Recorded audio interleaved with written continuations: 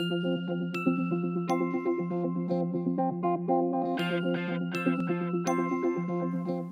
bandage somebody's hand, use a roller bandage. Place the bandage on the inside of the wrist, just below the thumb. Wrap the bandage straight around the wrist twice.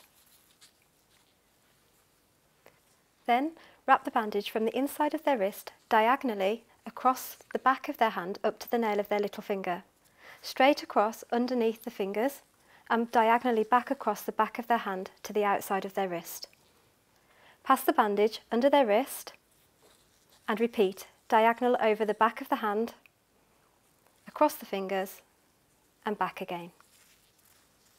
Keep going the same way, bandaging diagonally across the hand like a figure of eight.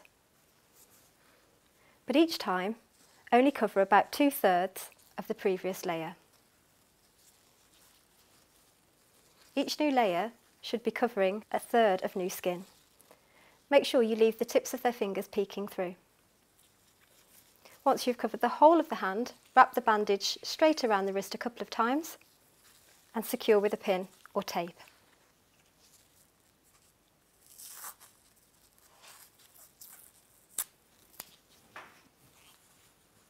To check the circulation, squeeze the fingernail for five seconds.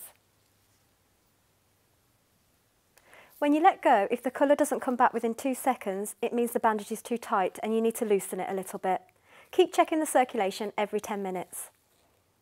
So remember, when applying a hand bandage, use a roller bandage. Make sure the bandage extends far beyond the injury site to ensure an even pressure is applied to the wound.